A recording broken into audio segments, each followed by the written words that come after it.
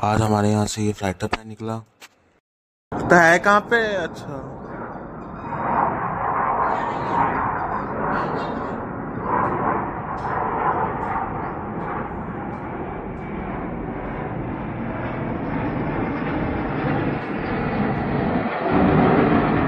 आज भी मेरा दोस्त हॉस्टल मेरे घर पे आया था। वो अपने साथ विक्की मेरे एक और दोस्त उसके साथ आया था। वो हम लोग विक्की और ये हमारा दोस्त विक्की, डॉन।